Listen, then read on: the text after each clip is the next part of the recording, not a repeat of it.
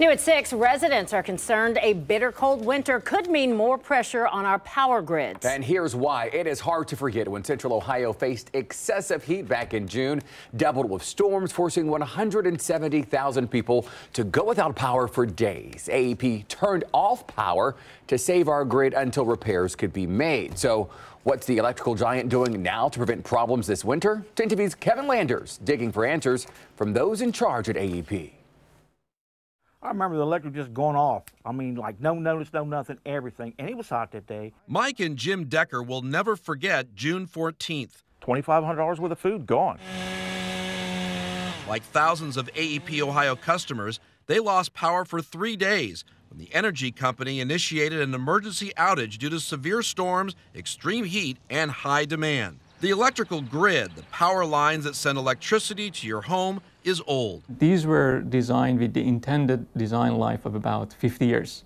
So we way past that. The grid is having to deal with something it wasn't originally designed to withstand frequent extreme weather events. Over the last six years, power outages have more than doubled from the previous six years. So we know these events are occurring more, and we know that climate change is only getting worse. It's at substations like this where high voltage electricity is converted to low voltage electricity, then it's sent to homes and businesses. It's through these power lines where 92% of all power failures happen.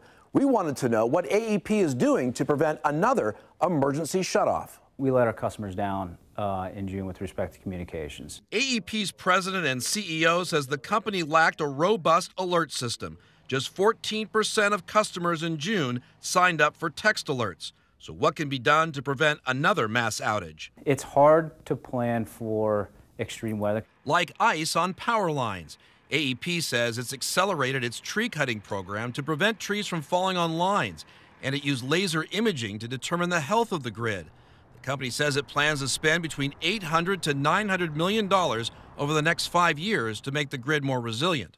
10 TV has also learned that AEP is negotiating with the Public Utilities Commission to extend the amount of outages it's allowed each year, as well as the duration of outages from 2 hours and 16 minutes to 2 hours and 38 minutes. AEP says the request is based on a growing population. The system's bigger, and so more is required to maintain that. For people like Jim and Mike Decker, they hope the power lines hold up when the temperatures begin to fall. I, mean, I figured if the power went out in the summertime, it could just as well go out in the winter because people are going to start cranking on, you know, the furnaces and everything else. Kevin Landers, 10 TV News. Now, back in June, the PUCO promised customers a post-incident review of AEP Ohio's decision to purposely cut off power to thousands of customers. Five months later, that report still not finished. A spokesperson saying there is no final timeline on when the report will be published.